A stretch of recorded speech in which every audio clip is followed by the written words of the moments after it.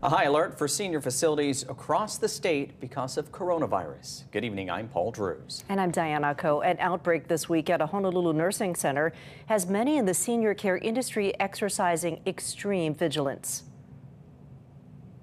Hale Nani Rehabilitation and Nursing Center reported a cluster outbreak this week. 12 people tested positive for COVID 19, seven residents and five staff. What's happening at Hale Nani? They are in lockdown mode, and most of our long term care facilities were in lockdown mode.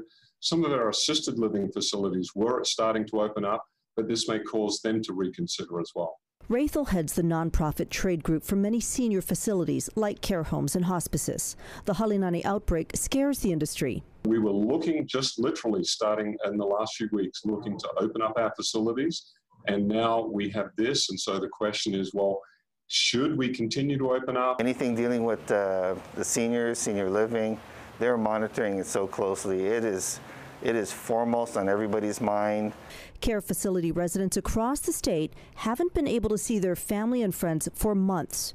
Only Ilima at Leihano started allowing outdoor visits on May 1st, but it is very careful to assess that situation day to day. Our worst nightmare would be any kind of COVID case inside the community. Raethel now says the threat of COVID 19 will be with us through next summer. We've got to figure out, well, well, what does that mean and how do we deal with that? We can't shut off these residents and our patients in our hospitals for that entire period of time. More questions than answers for this very challenging time.